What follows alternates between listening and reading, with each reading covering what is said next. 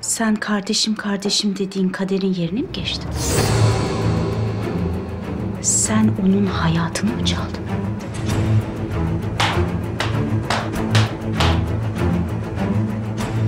Sen hastasın.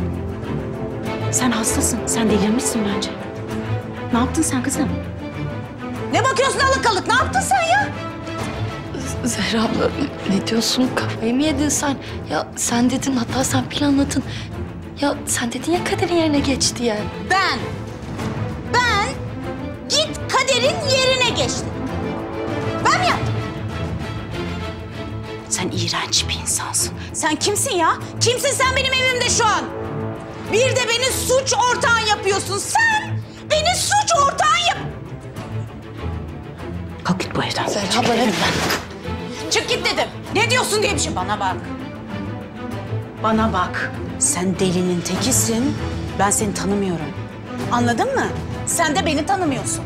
Artık birbirimizi gördüğümüzde tanımıyoruz. Duydun mu beni? Ze- Zehra abla ne diyorsun sen ya kafayı mı yedin? Ne diyorsun mu?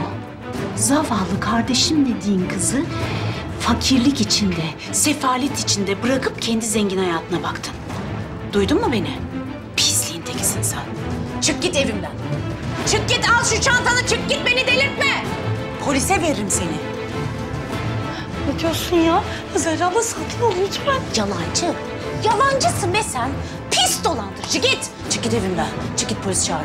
Çık git yemin ediyorum bir daha kapıma gelmeyeceksin. Kafayı mı yedin ne diyorsun ya? Çık git evimden. Kendine çık git evimden. Zehra abla, çık git evimden. Zehra abla, nereye- Çık git. Seni polise veririm. Zehra abla bir dinle ama. Çık git polis çağır. Çekil git. Çekil Zehra git. abla